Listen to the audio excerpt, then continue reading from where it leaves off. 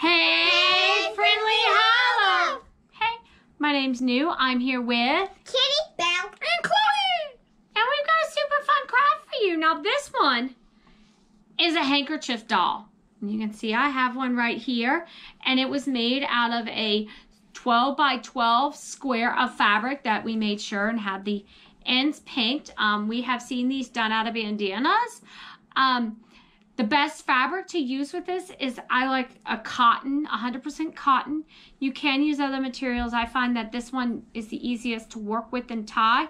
You don't want your fabric to be too thick or too thin while you try to tie the knots.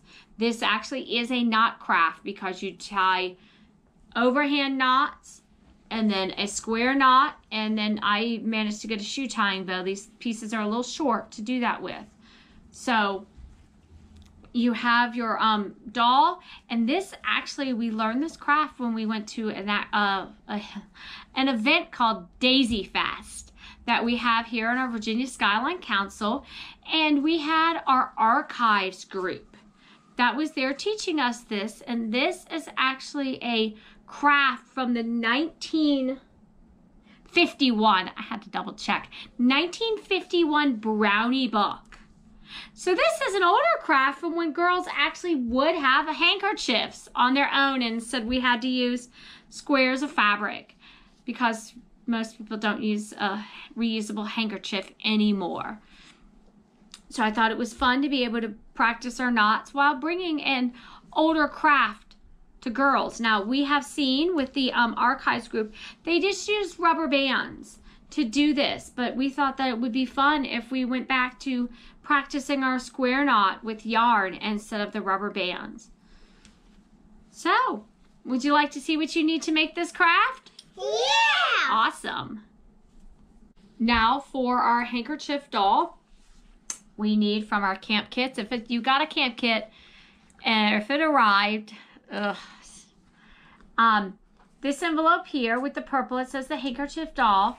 And you can see um, that the supplies in the envelope we need are fabric. And this is actually cut from, just cut from my amazing sewing stash of stuff. Um, and it's about 12 inches by 12 inches. You can do different sizes. Um, I've seen this done with an actual um, bandana. Um, we tried this one year with our troop and we did a smaller square because that's what we had.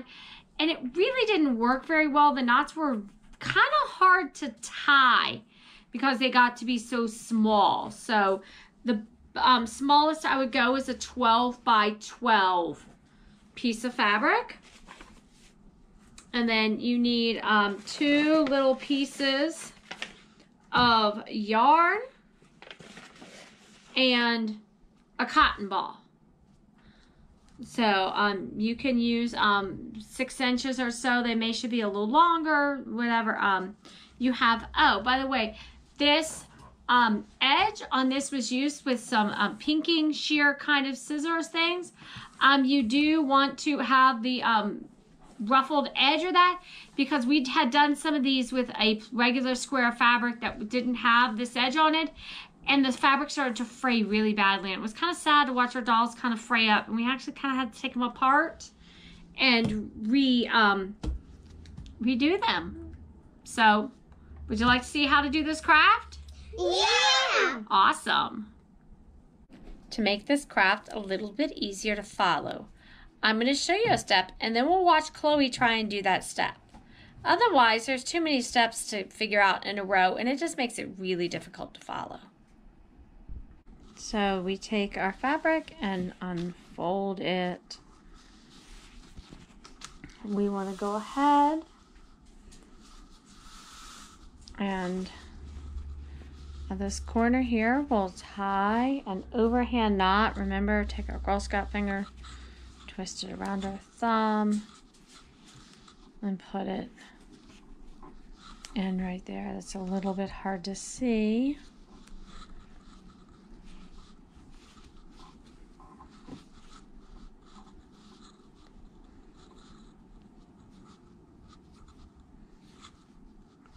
Pull that a little tight, make sure, because if you pull too hard on this, it'll fray. Then we take our zap, make sure they're on the same side. So your fabric kind of starts to fold over just a little bit. Again, with our knot, fold it over.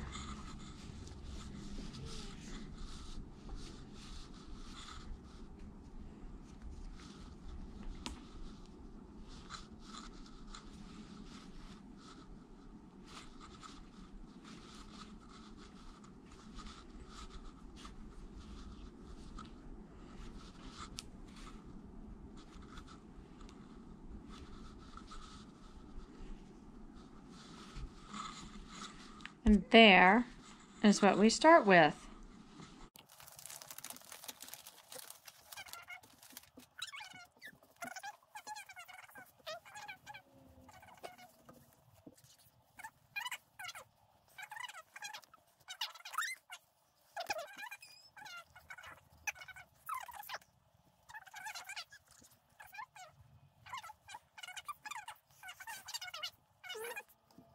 Now your fabric looks like this and it's kind of folded over a bit. Oops, got an extra piece of yarn there.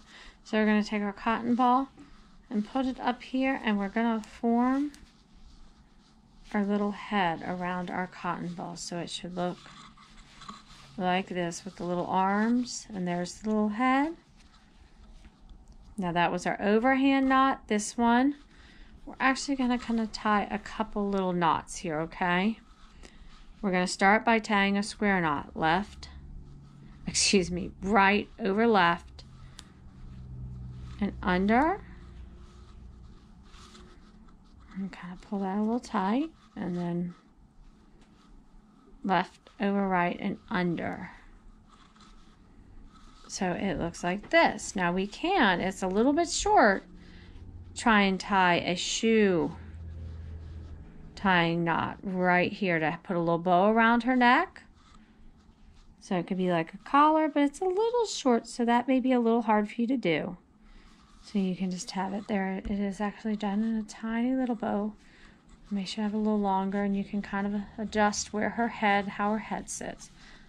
But there is what she looks like now.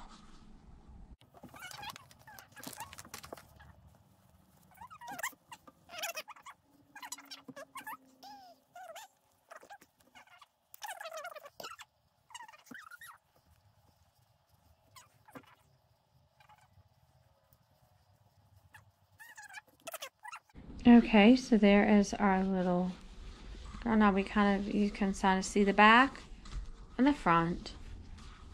And kind of close, you kind of fold it over just a bit in the back. And flip her around. And we'll give her a little waist. And just however you want her body to be. And again, just tie a square knot. So left over right and under. You could do a surgeon's knot here too. Or you can just go with a square and then left over right and under. And there is what our little handkerchief doll looks like. Again, I actually did manage to get mine in a little bow. If your yarn was a little longer, but we were just thinking square knots. And then I was like, wait a minute, I could tie a bow too.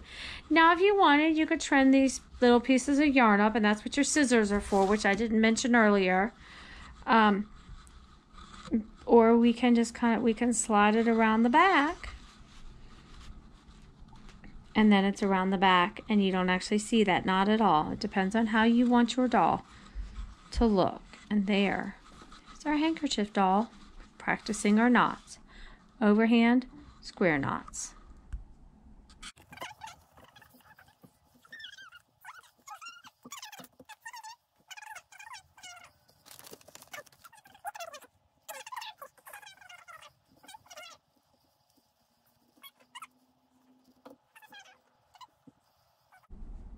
And we're finished. So, here are my two I made. You could kind of tell of switching back and forth between them in the demo.